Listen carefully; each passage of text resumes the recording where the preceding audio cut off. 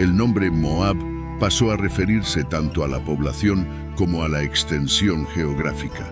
Funcionando como un reino estructurado, Moab desarrolló una economía fuerte y llevó a cabo proyectos de construcción significativos, además de colocar fortificaciones en puntos estratégicos de sus fronteras. Su religión presentaba semejanzas con el paganismo cananeo. Adoraban devotamente a Kamash, el dios de la fertilidad y especialmente dios de la guerra.